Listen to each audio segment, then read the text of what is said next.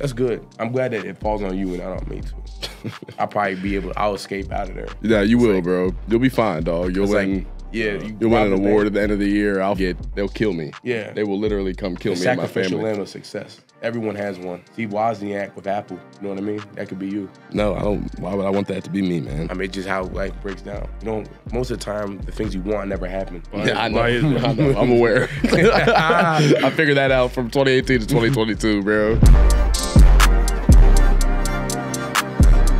All right, everybody. Big news coming out of the Lions Den podcast. We officially have our own merch that we're getting ready to put out. Make sure to go cop yours. Link is in the description below. These proceeds help us produce this podcast, bring on A list guests, and these proceeds also help Penn State NIL as a whole. Go get yours and tag us on social media. We'll give you a shout out on the pod. Looking forward to seeing you wearing the Lions Den merch exclusively. Welcome back, Lions Den episode three. I'm your host, Aeneas Hawkins. I'm joined as always by the super talented Nick Dawkins, the Jerry Cross, and of course, our special guest of the week, Theo Johnson.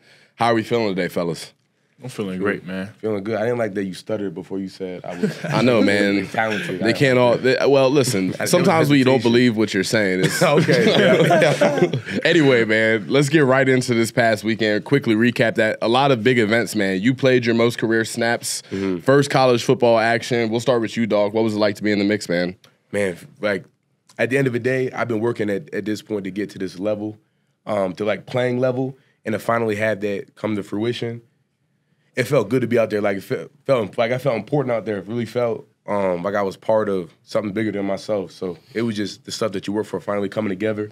And, and it's a lot of work that goes into. it. I mean, this is year four. Man, year four, I didn't think it was going to be like this. You, I mean, you, and it's, sometimes when you come in, you just don't know what it's really going to take to No. get to that point, man. But it happened. At the end of the day, that's like that's my journey. It happened, and now I'm out there, and it kind of gave me the confidence now going into the rest of the season that it happened, and like I know I'm ready for the moment. Yeah, Jerry, first first ever college snaps. After this, we'll go around. We'll start with Theo, and we'll talk about first college snaps and how those went. But what was it like out there for you? It was, it hit different for me, but especially since last year, like I missed the whole season. I never got that chance. So just me, me being out there, just to see what it actually feel like to go against a different team, like I was I was happy to just be out there. I was just taking it all in.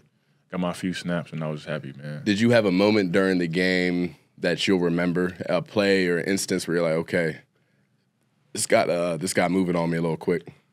No, not really. It's just like when you're just waiting to go in, like you know, like when they sub me, you was like you just be ready, like oh man, like once you get in there though, you good. That's the big- the biggest thing for me is just waiting to actually get in there. You watching it from the sideline, like seeing him and Tyler coming in and out the game.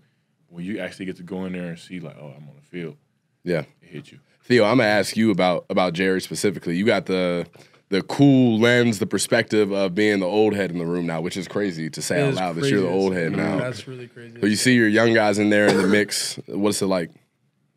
Uh, you know, it feels good, uh, especially with Jerry, because you know, like he's a guy that just really works hard in everything that he does.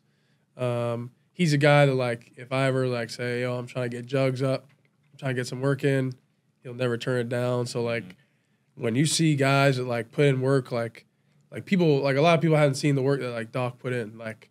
So it's good when you see guys that like really put in the work and like like have done all the right things and like it finally pays off and, and even if it's just a little taste even if it's just a little bit it's like it, it's a big deal so uh, when i see young guys that that just got in here or been put in work for a little bit get in you know it's a good feeling especially when when i know you know what it took to get to get there Yeah. I'll pose this question to the to the unit after this, but I can recall my first snaps at Penn State. We're playing Idaho. And we're up like mm-hmm. literally 79 to nothing. And Spence finally look at me like, all right, bro. like, mm-hmm. like it's your time to shine. So we all go in there. It's like me and the scout team, D line. I'm lit out there. And all week they're like, yo, if we get up, we're gonna keep the calls real simple for y'all. Like we know you just got here, like you don't really know the playbook mm-hmm. like that. We'll keep it real fundamental. We get in there in the first snap of the game. Coach Spencer, who's now with Florida, looks at the field and he gives the music signal. We had a call. It was music. It was strictly for vets, like who had been there for years and like knew the playbook. I will never forget the shock and the panic that went through my body when I seen that signal. And I looked at the other walk on Yeah. non uh, the scout team guys and looked at him like, what are we doing here? Nobody had any answers. running back hit his Go head off the ball, goalpost. We let up the only touchdown of the day. It was seventy nine to seven after that, and then they benched us. Yeah, yeah. That was it. They put the unit above us back in the game, so I'll never forget that. Yo, Theo, when you so you obviously got you played when you was younger, like as a freshman coming in. What was your like welcome to college football moment? you know, I never had like a like like I got hit pretty hard in, in the Illinois game, mm-hmm. but like I think the moment that I'll remember like so vividly is like when I really got in the game. Like there's like so Pat was here my freshman year, obviously, and like he was a guy like I kind of knew like it was Pat and then either Zach or Brenton. Um, but then I eventually, you know, worked to to beat out Zach, and I was a three guy. But like I kind of knew the first couple games, like I'm not I'm not gonna play. Um, but then Pat got hurt, Nebraska game, and then he, he was pretty much done. So it's like going into the Iowa game, I'm like, okay, now like like I'm going to play. Like I'm actually gonna play in this game. Um, and I remember first snap I get in, and I'm like in my stance, and I just look straight ahead, and I just see like a Iowa jersey, like, and I'm like in my like I can vividly remember in my head, I'm like. I'm in the Big Ten. Like I'm playing in the Big Ten right now. Like, morning. I was like, yo, like I'm really like lined up against the University of Iowa in a game, and and it was an empty stadium. There was nobody there, but it was still like such a crazy feeling, like just knowing what it took to get there, like just all those thoughts going through my head. And then I remember first play I was in, caught a pass, should have gone up the sideline, went straight back inside, got popped. And then they called the same play. I caught the ball, did the same thing, literally the next play. And they're like, Theo, like, what are you doing? Like, just go up the sideline. But I don't know. It that was that was like uh, I, I vividly remember in my head, like, oh my God, like I'm in the Big Ten. Like, this is crazy. Yeah. Man, them COVID nineteen days was different up here though. For our freshman year, like we didn't get the authentic freshman year, but like there was good points to it though. Like stuff you don't get to see now. Like man, we used to walk downtown. Like we could go into any restaurant and no one was in there. It was just like, Like, how, how was that like just y'all like having all that time off and then just coming back and being like, we got we COVID, like nobody here. I mean, we didn't think. I don't know. I don't know how you thought, but I didn't think we was gonna play a season. I didn't either. Yeah. So like they first when they sent us home, Yeah. like so what happened was we were doing winter workouts, and um me and we me and Theo early enrolled. With mask on, right? Yeah, yeah. No, No, no, no, no, no, this not this before. This yeah, is pre-COVID. Oh. So we're here. It's normal. We early enroll. I'm 17. Like we're out here doing winter workouts. I'm like, man, winter workouts tough. They're like, okay, we're gonna send y'all home for spring break, and they come back and do spring ball. And it was like, let slow down because Mm-hmm. it was like a joke. Like I remember one of the points, like we are all circled up, everybody's dead tired Yeah. the workouts. Somebody goes up there and is like, "There's rumors going around that we're not coming back from spring break. I want you to know that's not true. Yeah. And it's gonna be Yeah, spring ball." yeah. blah, blah, blah, blah. We're like, do "Yeah." remember Like, so go ahead. So I'm at home in Allentown in panic mode. I'm like, yo, I gotta play ball now. Like, I gotta go block these guys. I'm like, oh no. So then they're like, um, we're gonna give you two weeks. Um, so you know, there's something going on on campus with you know, we'll give y'all two weeks and then we'll report back to you. So silently at home, I'm like, you know, I'm like, I'm like, all right, I got some more time to prepare. I'm benching in the garage. and I'm trying to get right. I'm Yeah. like, it's like nothing that's really gonna help me mm. because at this point, what's gonna happen is what's gonna happen. But I'm like, yo, I'm, all right, let me just get my mental right. And they're like, guys, it's gonna be a little bit now. Yeah. Now we're doing Zoom Zoom meetings, like learning the playbook. We had a whole new, we had a whole new O line coach, so Coach Yep. Trout. Yeah. We had a new receiver coach and a new OC. Yep. So I'm like, That's and we had to install the playbook over Zoom. It's hard enough to get the play when you come in, you know, get the playbook right away. Now you're doing it over Zoom. It was tough. Yeah. yeah. So y'all had like team meetings on Zoom, all that. All of it. And you had it, you were, you were even crazier because you couldn't even go back home. COVID was like really tough. So like all that stuff happened, and everyone was home, and I couldn't go back to Canada. Wait, so So, where like, was you at? I was I was here, and they didn't even let like you couldn't stay on campus. Yep. So that hotel, like right there, right above uh, the Target, Yeah. I was standing there, and I was standing there for like three weeks, Yeah. and didn't leave. Like I did not leave the room. Like I would order food to the room, I would do like like workout like sit ups and shit in the room, and I didn't like I literally did not leave that room.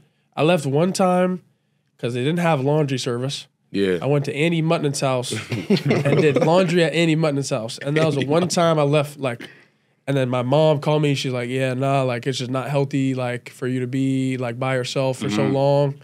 And then my brother at the time was uh, at the University of Buffalo. He came down, drove, picked me up, and then I was staying with him, and it was like it was better. Obviously, I'm around my brother, but like imagine like sleeping on like a Nittany Apartments like couch. No Like that's what I was doing for like probably like two months. Like Body was sleeping in shock. sleeping on like a couch, like in my brother's like on campus apartment. Yeah, it's And I'm doing I'm doing the Zoom meetings Yeah. on, on the couch, the same place where I'm laying my head at night. And literally, like I had a good routine at that point, though. Like we would wake up, do a little workout in the morning, Mm-hmm. come back, do meetings and stuff. Then we hit the field, do like field work. Like we were getting good work in every day, but like like that was it. Like Yeah. I would work out and then I'd be on the couch, like just Doing watching nothing. Netflix. Mm-hmm. I got real good at video games during that period. I'm not because, like you said, we work out. Yeah. Then you got nothing Wait, else to do. what, wait, what video games are you talking about? Because you're not good at any of them. what are you talking about? I'm not Wow, gonna he got do this. caught up. This is Look, that's crazy. a, that's the do heat that. You see how he do? Like this is the thing with Doc, bro. Doc's Okay. never gonna just let you live and enjoy. I am good at video games. Call of Duty. Yeah, okay, thank you. Exactly. Dude. No Duty, way. Yeah, silence. uh, uh, yeah, no, absolutely not.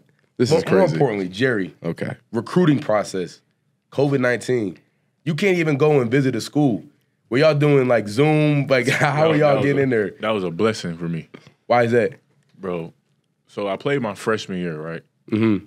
Had a, had a decent freshman year. My sophomore year, that was my breakout, like breakout year. I had like eight touchdowns the second game of the season. I was going crazy.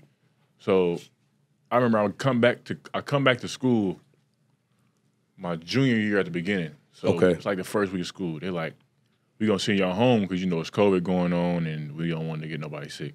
So we get sent home. We never end up coming back. So I end up just basically sitting out the whole my whole junior year. I missed my whole junior year. I have no mm-hmm. film. That's crazy. So one day, like, so Wisconsin, they offered me my freshman year, the end of my freshman year, they offered me. Then the COVID happening, of course. Yeah. So Michigan hit me up. All the other schools, all, the whole Big Ten, Pac 12, I had SEC schools. I had like over, I got like 25, 30 offers during that whole COVID period.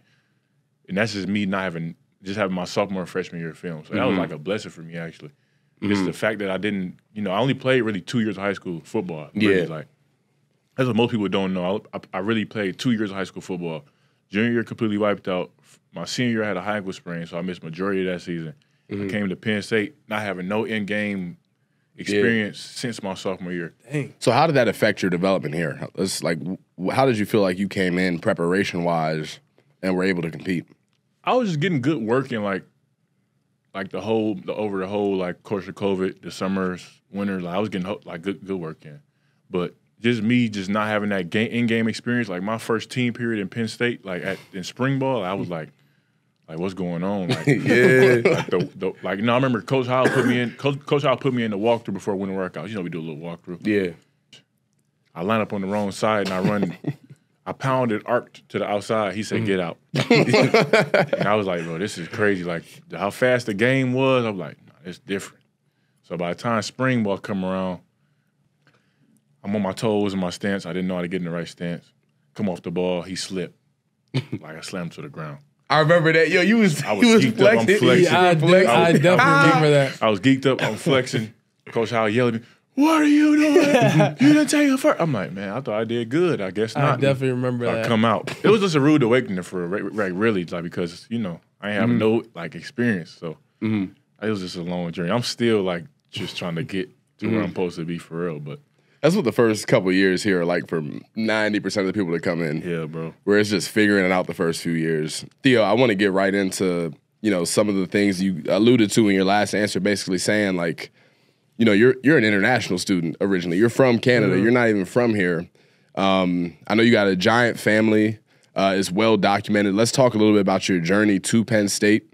Um, and the things that it took for you to get to where you are today, because a lot of people may not have that insight. Yeah, I mean, like to not get super super deep into it. Um, you know, it was it's definitely a journey for sure. Um, you know, I came, got five brothers, single mom.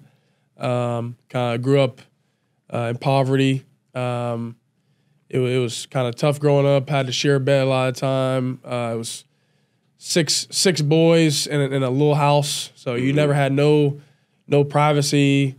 Um, it was days where I, I wish I was the only child. Like it, it was it was really tough growing up. Um, and and people be saying like, oh yeah, y'all probably fought over food. Like if if you ain't at the table when the food came out, like sometimes you just didn't eat. Um, so you know it was it was it was tough growing up and and at the time like you know there's points in my childhood where I'm like man I hate this like I wish I had a small family. Um, but you know now being where I am now like I'm so blessed that I went through what I went through because I wouldn't be like the man I am now the player I am now if I didn't you know go through some of those trials. Um, but you know I was living in a town called Cambridge Ontario when when we first uh, kind of left my my dad in, in that situation. Um, and that's when my mom went back to school. Um, she was doing school while taking us to football practice and making sure we're all going to school um, and getting to where we needed to go on time. And and like if you think about what it takes to do that for not just one kid but like six kids, like we all was doing something whether it's swimming, football, soccer, like we was all doing something. She always made sure either if she was driving us, someone had a ride. She was like reading in the car when we was at practice, highlighting her books, um, and and just relentless worker. And that's kind of who I attest my my work ethic to is because she showed me that like there's there's no excuse to like like if you want something like there's nothing that can stop you other than yourself. Like like there's no there's no reason that like I I could be here if it wasn't for like my mom's work ethic and and God. Like really honestly. Um, so. Um, do you find yourself now like clinging to old habits that you had back then? Like for example, like my godfather, how he grew up. He grew up. He said, man, they were so broke when the ice cream man came and played the music. His dad told him the ice cream man played the music because he was out of ice cream. So every time they came, they were like, "Oh man, he's out of ice cream," they couldn't afford it. But he like when we we go out to eat, man, he looks around like he'll finish all his food and then get like almost sick if people don't finish their food.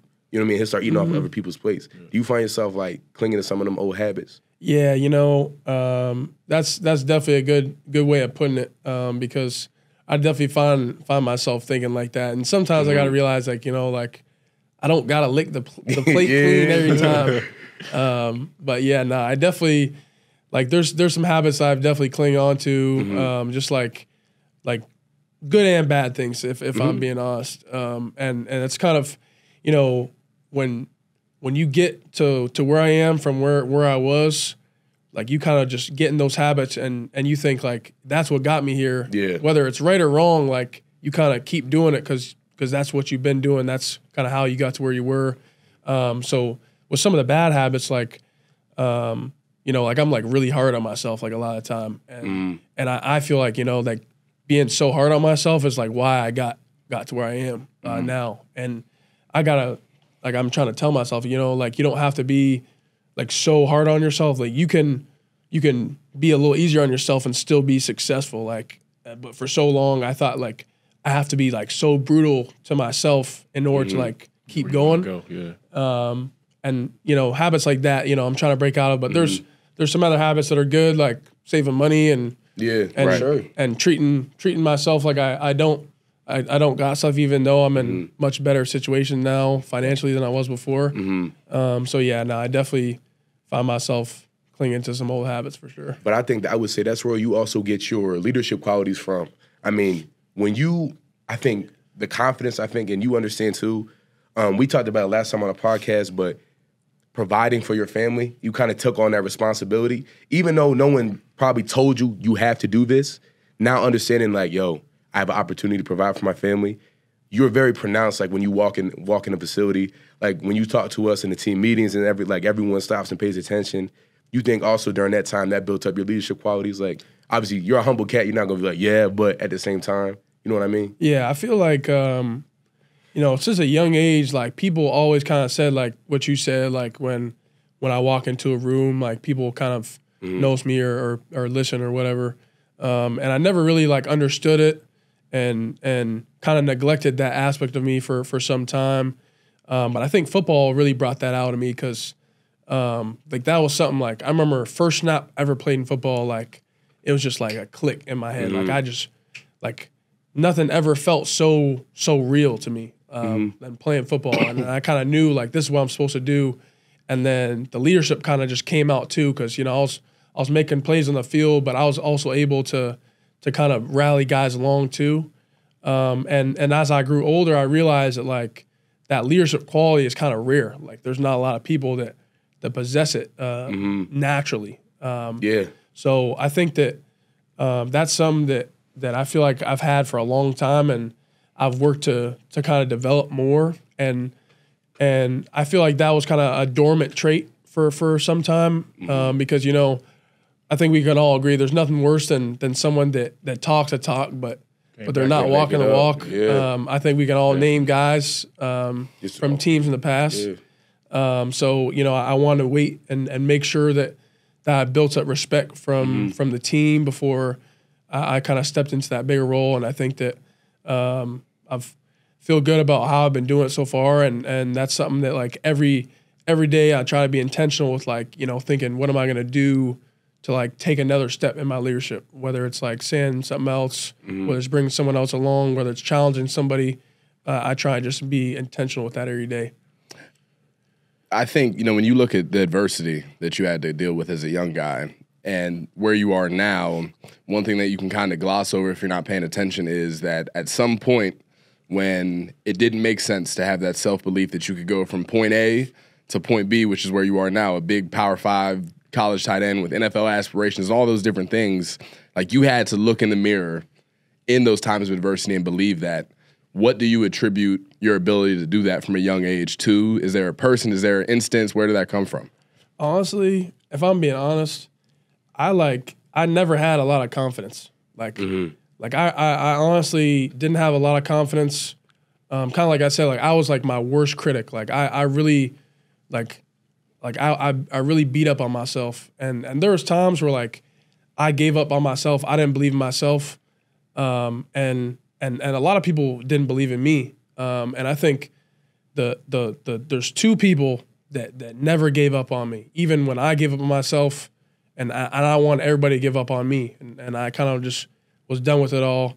My mom and God, like, like I gave my mom every reason to give up on me, and and she never did. She never turned her back on me when when teachers told her you gotta just kind of let him figure it out on his own. When counselors, when specialists said no, he, he's he's mm-hmm. like you gotta just kind of let him be, and and she said nah, I'm not doing that. I'm I'm gonna keep going, mm-hmm. and and God, like I was a, a troubled kid that obviously had been through a lot, and and I, I didn't have a lot of belief in myself, and I think it was just having, you know, people that truly never gave up on me, and and believed in me even when I didn't know why they should be believing in me. I think that's what kind of gave me the confidence to keep going and, and keep working. And then eventually when when you keep pouring into somebody when they don't believe in themselves, they start to believe in themselves little and little by at, at a time. And then I think um, eventually when I started, you know, taking strides in football and and gaining more confidence, you know, I, I can do this. Like I, I can play at a high level. I can play in the states. I can accomplish my goals. Then I think it's just kind of started to build from there and and and blossom. Um, but I definitely attribute that to my mom and God for sure. And Jerry, being in his room, how have you seen his like leadership develop as you've been here? Man, just me coming in from a just a recruiting standpoint. Like, I remember the first time I seen Theo. Like, I know I always looked up to him, like him and Brenton and Tyler. Like, I always looked up to them. So just seeing that, just him being a leader for our room, he like pushed us to get to where we want to go, and like even I feel like I don't know, he's had a big impact on our room and on our team. Like, Yeah. like I said, it's somebody I look up to. Like, he'd have helped me through stuff. Like, it'd have been times where I've been down, man. Like, mm-hmm. I talked to him, and you know, he just like he he helped me get back to where I need to be. Like, so I just I really do appreciate him because he really helpful for me. For real, real, real. Man, there's just so many cats like that that like you see that you would never know where they come from, their circumstances because of how they portray themselves and how you know they show themselves to people. But man, that's like, the reality of it is like the toughest guys like that. I think all of it comes from those external factors, which is obvious. Like you know, pressure builds a dime, pressure builds a king. Yeah. Um, but like, man, like y'all two, like just I feel like everyone here, like and like guys we bring on, wise beyond our years. Like his mindset and like your mindset and your mindset is just way beyond like, and that, I mean, just like ran on about it. Our locker room, how different it is as we've been here. Man, you see guys' visions. Everything is intentional. Everything has a plan, and I don't think you see that when you go into other locker rooms and in the country that everyone it's a genuine support system that we're building up with I each just other. I feel like it's it all just come back down to your your background too, like your mm-hmm. upbringing, like parents, like his his mom, my mom, your mom, your your dad, your mom. Like it's just your background. Like if you raise a certain way, you're gonna carry that for the rest of your mm-hmm. life. So I feel like that's really what it start with for real. sometimes it's, that's all it takes is one person that you look up to, you respect for whatever reason it may be, whether it's a mother, whether it's a mother and a fa- whatever it may be. Sometimes that's all you need. It's because as a kid, it's not it's not always easy to believe in yourself. You're making mistakes. You got people telling you this, you that, and you don't know no better as a young dude. You let people speak into your lives that really have no business doing it. You know what I mean? So sometimes having that one or two people in your life is really big time. One thing I want to ask you about too, Theo. You know, you you've alluded to Pat Freiermuth a couple times, him being around when you were a young player as a as a freshman, and I think it's interesting to always ask, you know, like what was the toughest hurdle when you got to Penn State as a player that you had to overcome uh, when you first got in? Um, so definitely the big thing for me is probably five days on campus. I had surgery. Um, so already being a kid from a different country, playing a totally different game. Like people sometimes forget, like Canadian football is different than American football. So I'm coming to a different country, playing a different game, and then I have surgery five days into being on campus. Um, so that was definitely probably the toughest thing for me is like, and and not only being in a different country, like being in college, like I'm not getting eased into it in summer. I'm thrown into a full course load in in a spring. Um, so that was that was definitely probably one of my toughest semesters, just because like I've never I never was hurt until I had my like shoulder surgery. Like that was the first time I ever been hurt in my life. So just navigating how to be injured, how to kind of still navigate stuff, and then making sure I'm still taking care of my body, going to class, trying to learn a playbook for the first time. Um, so that was like super, super challenging for me, uh, just because there's so many firsts that I was going through at that time. Um, like it, it was just, I, I felt like I was kind of just my head was on a spiral all the time.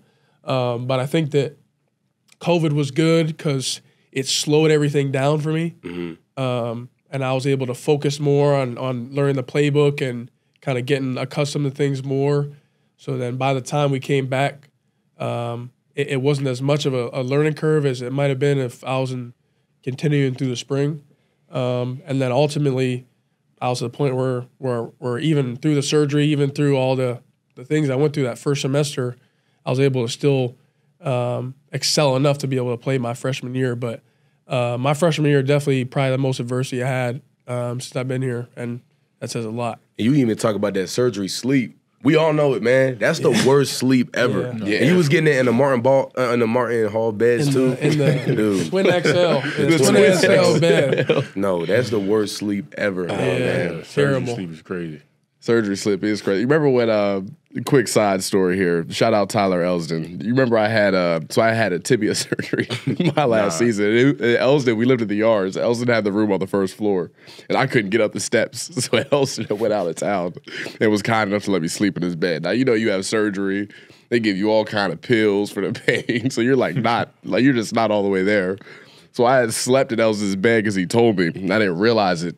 But I had started bleeding through the uh, like the wrap So- On his bed. all yo. over like in his Whoa. bed like and I had I had no I was so high out of my mind from the oxy the oxy they was giving me for the surgery. I had no clue. And Elsdon almost came upstairs. Shout out Doc for slowing him down because he was gonna wake me up out my sleep and fight me. I would have broken I have never seen him that mad before. Yeah, like, nah. I mean, I, I get it though. When you have your own den, you have your own room, and the hawk burrows himself and builds a hawk's nest in your room Oh, here he goes, with man. McDonald's DoorDash. Oh, yeah, I was DoorDashing and dried McDonald's. blood on Crazy, sheets. yeah. yeah, that would that would drive a man to insanity as well. It's understandable. yeah, yeah. I mean, Certainly you, it. you got it. You understood the point. You kept your distance. I did. I, I avoided Elzer for like four days. I'm like, bro, if I see him with one leg, it's a problem.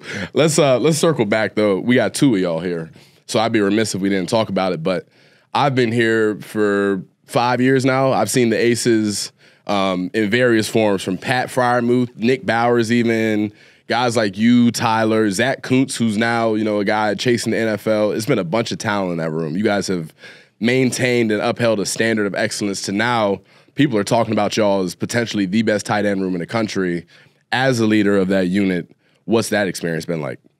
I think um, you know, I knew coming in that there was like a long lineage of of tight ends that came through um, Penn State, and I took a lot of pride in that, and that's part of the reason why I chose to come here um, because you know obviously I wanted to go somewhere where tight end was a, a established position in the offense. Um, so I knew that there was a standard um, that that was set, and and I tried my very best right away to try and acclimate to that. Um, so, you know, as a freshman, I kind of went and and looked to Pat and and kind of just was trying to be a sponge with everything, see how he works, um, see what his work ethic was like, because because this is a guy like he's going to NFL next year, so like I'm trying to see what he does because obviously I'm trying to do what where where I'm trying to go where he's going. So, um, kind of looking at him and seeing what the standard was like. Um, and then ultimately, you know, kind of making it my own. Like obviously, it's not going to be the same every year. Um, and and everyone that's came through through here has kind of put their own touch on it and and changed it. And um, things have the dynamic has changed from uh, Jesse James and Kyle Carter and all those guys to to where we're at now. Um, but I take a lot of pride in uh, the standard that that this tight end room has, and that's part of the reason why you know, I'm all over the guys, especially young guys, because um, it's it's bigger than it's bigger than like us. Like like we're doing this for the guys that came before us, and then we're doing this for the people that are gonna come after us. Um, and you know, I I, I wanna I wanna be able to look back when I'm gone and and see the room better than than when I was there. Um, so you know, I take a lot of pride in that, and that's part of the reason why like I, I push so hard to to uphold that standard. Jerry, what is that? Eight, like the Aces. What did that mean to you? Just a group of guys that can do everything. Like we actually do everything.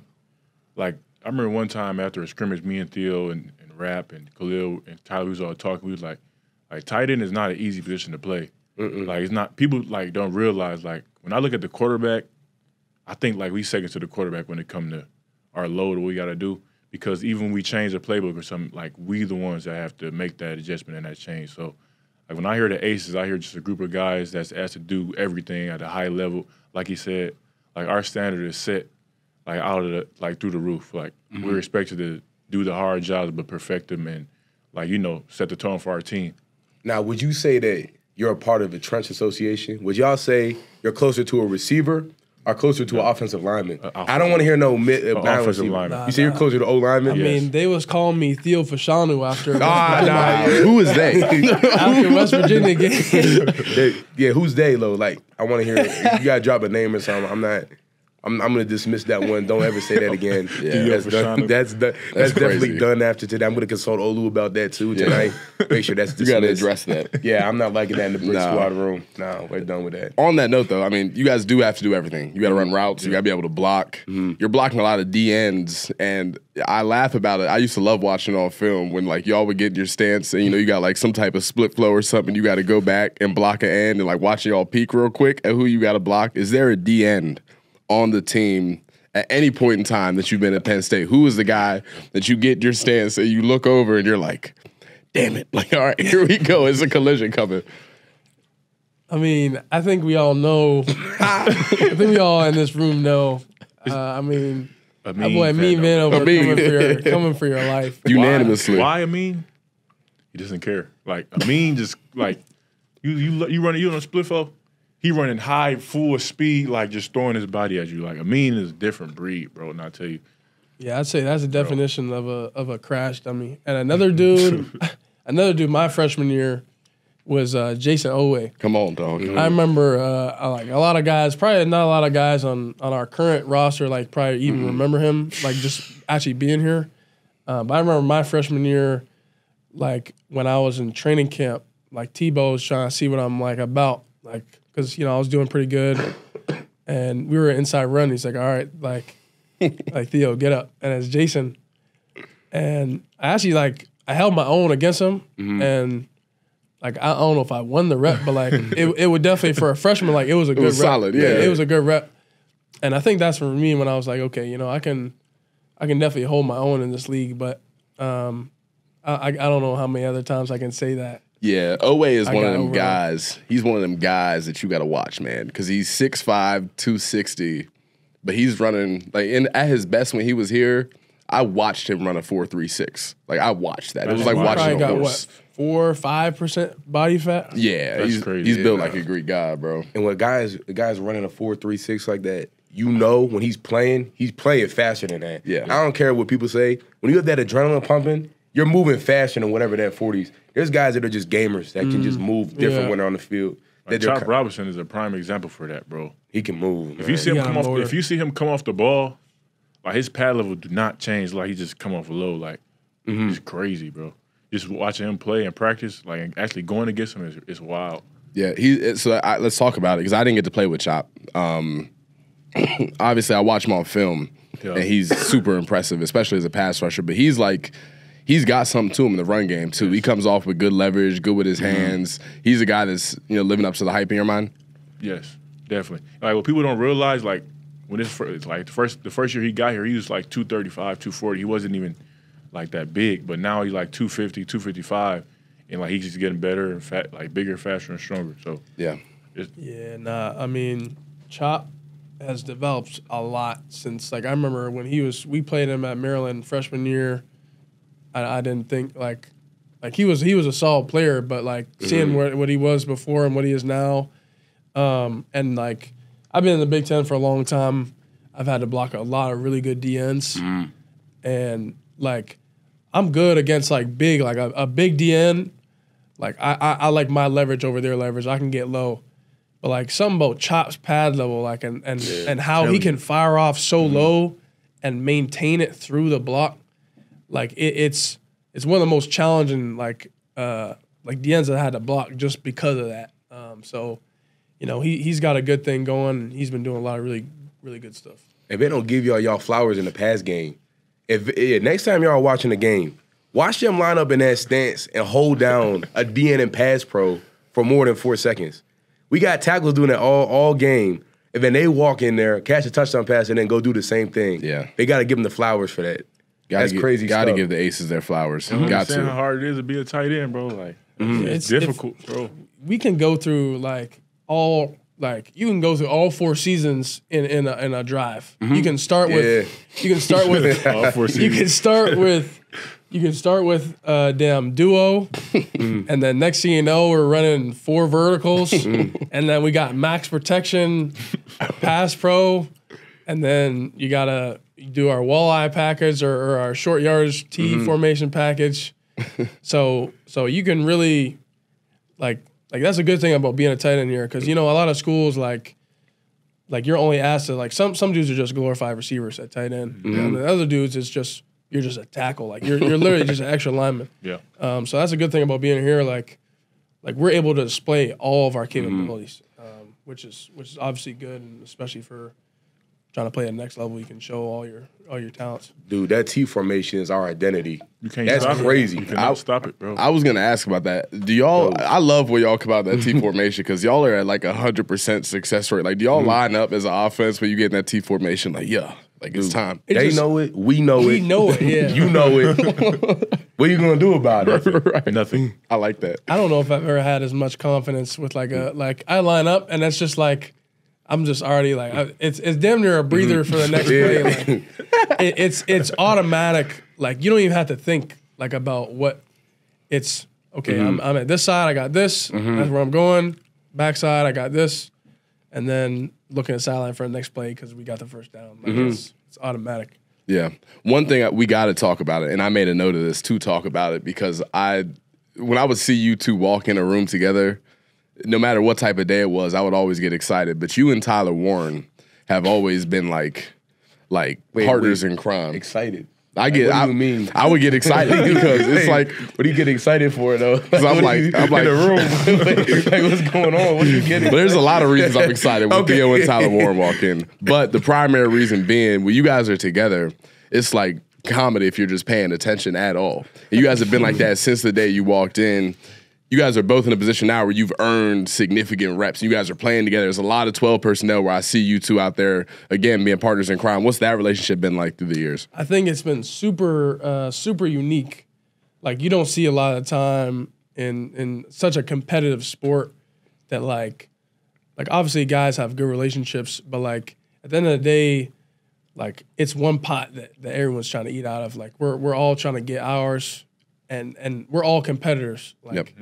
I'm I'm competing against Tyler every day. I was competing against Pat. I was competing against Brenton. So we're competing against each other. But at the end of the day, like we know, like the main goal is like we want to win. Like mm-hmm. we want to win games, and then we also know too, like at Penn State, if you show you can play, you're gonna play. Like whether it's 12 personnel or 13. Like last year, all three of us were getting like meaningful reps. Like me, Brenton, and Tyler. So like, I think that helps with with our relationship because we know like you're gonna make plays, I'm gonna make plays. I'm still competing with you, but like I'm not taking nothing away from you. So I think you know me and Tyler from from freshman year, like it, it definitely wasn't what it is now. Like there's probably still a lot of that competition and and and stuff like that. But when we realized that when we realized that you know we can compete and still like be friendly with each other, um, I think that helped us build our relationship. And now like he's probably one of my best friends on that team. We we do a, a whole bunch together, and and it's it's honestly probably better playing with somebody like that because you know I, I completely trust him. Like if I got him next to me, I know that he's to do his job. He's to help me do my job, and I think we just make each other better every day. And Jerry, um, he said um, he gets excited when he sees Tyler Warren and Theo walking in a room together. Who who you think is more of exciting of a group though? Me and Hawk walking in a room or Tyler and Theo? Like who are you taking?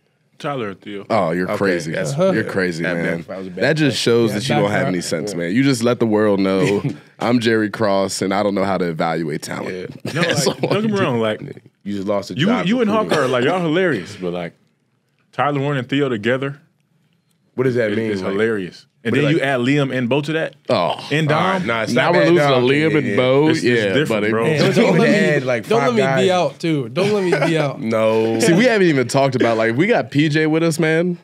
you No, I'm had- not gonna lie. us That's, three? that's a good one. I'm not gonna lie. That's good. It's Yeah, over, that's man. We just cut with a Hershey kiss, man. Come on. Come on now. That's a, What di- that's a talking- different what are you, what are you talking about? I don't know. We done got off on a we- tangent I'm quick. sorry, I apologize. now. Let's, let, no, let's get back to business. I'm gonna ask both of y'all uh, because he's a guy that I've been really impressed with. I was here back when he was a offensive line GA, but Ty Howle is like one of the best dudes I think in college football. Like he's a quality guy. He's a coach that cares about his players. I never explicitly played for Ty or uh, Ty Howle. But he's always been a guy that I knew had my back, would check in on me, ask how my day was going. What's that dynamic been like, and how is he as a leader? He's still that same guy, bro. Like you can ask Coach Howle for anything, like off the field stuff, on the field stuff. Like he's just a real genuine guy, and that's what like I feel like most coaches around the country might not have that same aspect. Like I know if I need something, I could call him and he's gonna deliver for me because he's just that type of coach, and like, he's just that type of guy. Like I got a ton of respect for him, and I know you do for us, uh, like an all in the room. But Coach Howle, he's one of the most genuine coaches. Like even when it comes to sending us the install or the script. Like we had the fall camp day one script probably three weeks before camp started. Like he'd take care of us on the field and off the field. I say, um, so Ty, me and him, me and Ty's relationship probably started even before he was my coach. Um, so freshman year, he was working with the O line, and uh, Coach Bowen at the time, who was a tight end coach, told me like, you know, if you want to play, you're gonna have to block. Like, like that's that's the only way you're getting on the field is if you can block. So that was like what I poured all my energy and effort into and I'll be after practice hitting the sled, and Ty would come over and like just, nah, you gotta do this, give me pointers and stuff, and then eventually, you know, we started to build a relationship, and it was more than just like just talking about run blocking. Like he would just talk to me about like, you know, going through uh, a little bit of that transition I alluded to earlier in the conversation, just talking about, you know, playing a different sport, uh, navigating, just being in college. Um, so before he was even my coach, we had built a pretty good relationship. So then when Coach Bowen went to the Jaguars, it was kind of a seamless uh, transition. And then it honestly just kind of really took off from there. And, you know, it was probably one of the best things that happened in my career was just having not only a coach that um, like I can relate to and, and have a really great relationship with, but like Ty is like I'd say one of the hardest working coaches. Um, like he he makes sure that we are so prepared uh, to play every single day. Um, he goes above and beyond. Like there, there's so many things that like he does for us in the tight end room that like like you just look at other position groups like yeah like our coach isn't doing that for us and and that's not no knock on their coach but like Ty just he, he he's a grinder he works really hard and that goes back to when he was a player like he, he was just a hard worker so uh, I think some of his you know work ethic and mentality is, is rubbed off on us and and has kind of it shows in in our unit. And and I think that we've kind of taken over some of, of that identity that he he take he brings to the table. So um, yeah no I, I think he's probably one of the best coaches I've had in, in my career. And it's evident, you know, when we when you watch Penn State play, guys are putting out effort. They're doing what they're supposed to do, and like particularly, you leave it out on the field. When you get home, you know, after maybe a loss, something didn't go the way you wanted to go. How do you balance out, you know, the negativity and the hate, maybe on social media or just in general? How do you balance that?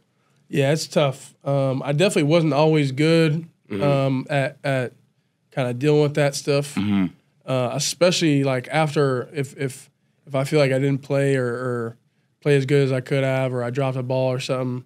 I don't even go on social media because Yeah. I know like it's it's I, I'm not gonna see something that I want to see. So Man, they gonna give it to you too. Yeah, Man, so they don't don't- play around. I don't go on social media. Uh, I try to stay off of it because you know it's just not. It's not going to help me. Uh, Mm-hmm. I think the big thing for me is just going over the film and just really just kind of being just. ev- Everyone's going to see what I'm looking at. Like I'm going to have to face music in, in the offensive unit meeting, so I, I just got to look over it, see where I made the mistakes, and then just try and grow from it. Um, and and it was definitely a lot harder when I was a young kid just you know not being as honest with myself or um, just it was a lot harder to face that music. Uh, but I think now like um, it's it's a it's a lot easier transition to kind of deal with with disappointment in that way. And Aeneas, how do you bounce it after like a bad dirty show? Like how do you balance out the? See, it's funny. So my biggest ops weren't typically the fans. You know what I'm saying? 'Cause they never saw me play. But we get to film sometimes. I would have a rep so bad that like the D line coach would play it twice. He'd look at me, wouldn't say nothing, and would just move to the next play. And I would, you know what I'm saying? My biggest, I mean, that's it's a bad feeling. Um, I will say one time I had a fan tweet on me. We were at Ohio State. I'm from Ohio. And I was wearing number 27 in honor of my dad, who wore 27 in the NFL. I'm just trying to show love to my pops. You know what I'm saying? He, he did a lot to help get me there. So I'm wearing 27. I'm like 305. I'm a one technique.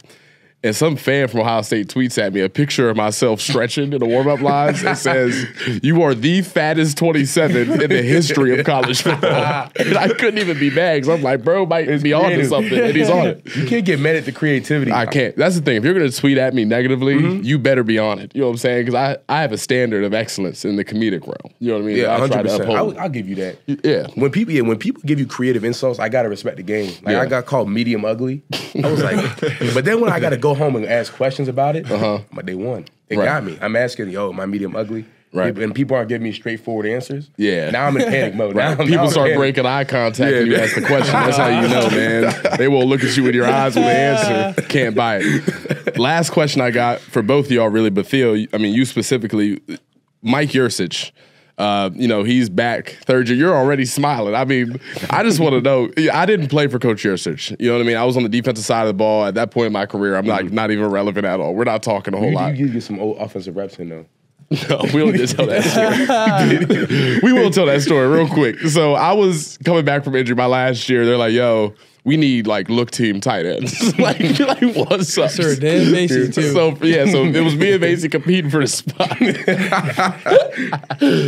we go over there. I take water. I've never played tight end in my life. I got not a clue what to do. I look at Grayson Klein, who was another walk-on tight end. You know, Grayson don't take nothing serious. So I'm like, yo, what do I do right here? He's like, first of all, I try to go to the other side in the formation. He's like, nah, nah, nah, trust me, you won't be on this side. It's gonna be easier. Set me up crazy, right? so I'm again, we talk about split flow zone. I look over, Jesse Luketa's on the other side, and I gotta go get him. I'm thinking, okay, me and Jesse are in the same class. He's gonna take care of me. Like, we're good. Like, we'll have a little collision. He'll keep me up, uh, whatever. when I tell you, Jesse Luketa hit me so hard, dog, my helmet popped off, and Dion was running the scout team office. He's like, bro, get out and don't go back in. and I stood there the rest of the practice. I don't remember what the point was before that, though. You didn't got me off on a tangent. Coach Yurcich. Yeah, there you go. Yeah, let's get back to it. You're not avoiding the question. What has he been like? Obviously, the offense is having a ton of success. You guys all look so comfortable in it. How has he been as a coordinator? How's that relationship gone? I think uh, you know when he came in, his style of play was so much different than my freshman year. Um, just how he calls plays, um, the tempo was was so fast our freshman year. Um, we kind of reeled it back a little bit. Um, he he's got a, he's got a fire to him. He's got an edge to him. Um, but you know, I'll tell you one thing: the dude is brilliant. Like he is the way his mind works. He's super smart when it comes to uh, breaking things down and how he can uh, explain things and and dissect coverages. Um, and and it's it's showing up this year. And some some coordinators it takes some times for all the pieces to come together. And I think we got all the pieces this year. Um, and he's done a really good job of taking all of our weapons and being able to uh, use them in the right way and, and be able to play to Drew's strengths and, and our offensive strengths and kind of be able to self scout and say what's what's our strengths. Uh, so you know, I think Yurcich has been a as a really good coordinator and, and kind of like I, I said before, um, it's fun playing in his offense just because like if you can do it as a tight end, you're gonna be able to display it. And like there's a lot of schools that like you don't get the opportunity to show all of your aspects. Um, so I think that's probably the thing I like the most about playing his offense. Jerry, how did you with, with picking up the playbook your freshman year? How did, how did you have any resolve when you were going through it? I say for me, like just picking up the playbook wasn't really hard. For me, it was just translating to the field because mm-hmm. I'm a fast learner. So in the meeting rooms, I get the plays. I'll be calling the plays out, and but when they get to the field, like like he said with the tempo, like I never had that to where I'm playing that fast. So just just me transitioning it from the meeting rooms to the film was the biggest thing for me. But other than that, though, I think I I got it like a handle it easily. Do y'all notice you watch football different now too? Yeah, Like, definitely. when we watching college football games now, or when we're watching NFL games, even in the locker room, we got the TV screens on. Guys aren't even like, "Wow, that was a great player. That was a good play." They're like, "Man, linebacker MA right there." Yep. Or I'm watching. I'm like, "Man, Sarah took bad footwork there, man. Screw the whole mm. play up." You'll never casually watch football again. No, it's like watching film at all times. Never. Yeah. Theo, thank you for joining us today, man. It's a, was a privilege. pleasure. It's an honor, man. Pleasure. Thank you for listening to the third episode of the Lions Den podcast, brought to you by State Media, your home for anything Penn State related. Stay tuned for future episodes with other superstars like Theo as we continue to bring you the best Penn State coverage known to mankind.